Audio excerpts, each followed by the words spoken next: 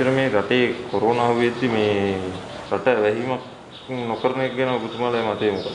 විශේෂයෙන්ම ජනාධිපතිවරයා සංඛ්‍යා දත්ත සමග ඒවා විකෘත කරමින් ජනතාව සමග මාරාන්තික ක්‍රීඩාවක යෙදමින් තිබෙනවා. මොකද දැන් එළිදරව් වී තිබෙනවා විශාල දත්ත තොරතුරු සඟවන බව. බදක් ඔබගේ මාධ්‍ය ආයතන මේක වාර්තා කරලා තිබුණා. මෙවැනි වසංගත තත්වයකදී වැදගත්ම දේ තමයි පුරෝකතන. කොහොමද සිදුවන්නේ? ඊළඟ සතියේ මොකද්ද වෙන්නේ කියලා පුරෝකතන අවශ්‍යයි. හැබැයි නිවැරදි පුරෝකතනයන්ට එන්න පුළුවන්කම තිබෙන්නේ නිවැරදි දත්ත තොරතුරු තිබුණොත් විතරයි. හැබැයි ගෝඨාභය රාජපක්ෂ කල්පනා කරනවා දත්ත තොරතුරු සඟවලා වෛරසයෙන් මගහරින්න. ඒ වගේම තමයි නිවැරදි දත්ත තොරතුරු දුන්නොත් තමයි සමාජයට මේ පිළිබඳ තියෙන වැඩිතම අවධානය අවධානම පිළිබඳව අවධානය යන්නේ. හැබැයි එකක් දත්ත තොරතුරු විකෘති කරනවා. ඒ වගේම අපේ රටේ විශේෂඥ වෛද්‍යවරු කණ්ඩායම ආණ්ඩුවත් එක්ක කොවිඩ් මර්ධන කමිටුව කටයුතු කරන රජයේ වෛද්‍ය නිලධාරීන්ගේ සංගමය ඒ වගේ මා දැක්කා සෞඛ්‍ය අධ්‍යක්ෂක නියෝජ්‍ය ජනරාල්වරයා ඒ වගේ මා දැක්කා සෞඛ්‍ය අමාත්‍යතුමිය පවිත්‍රා කැබිනට් මණ්ඩලෙදි කරන්න හදපු අදහස් මේ ඔක්කොගෙම මතේ බවට පත් වී තිබෙන්නේ දැඩි සංචරණ සීමාවකට මේ මොහොතේ යා යුතුයි කියන. ඒ අන් කවරක්වත් නිසා නොවේ සිය ගණනක් මිනිස්සු මේ යමින් තිබෙනවා. මා දැක්කා යම් පන්සලකට ගිහිල්ලා මහින්ද රාජපක්ෂ මහත්මයාත් ප්‍රකාශ කරා කියලා වාර්තා වෙනවා. සංචරණ සීමා තවත් දැඩි කරන තීන්දුවකට යා යුතුයි කියලා.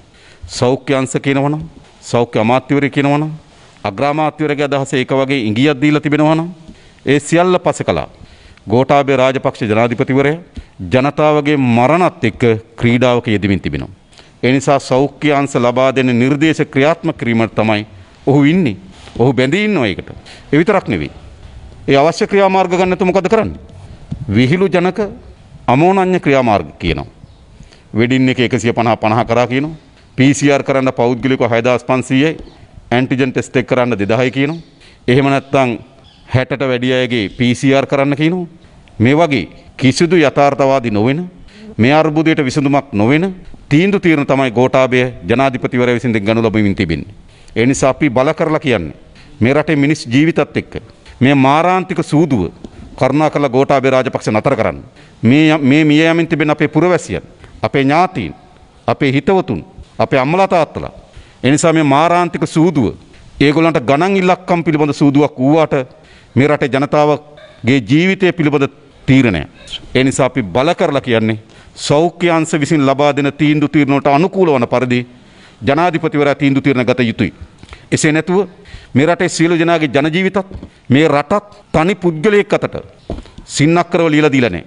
අපේ රටේ පුරවැසියන්ගේ ජීවිත ගෝඨාභය රාජපක්ෂ ඉදිරිපිට උගස් තියලා නැති බව ගෝඨාභය රාජපක්ෂ දැනගත යුතුයි.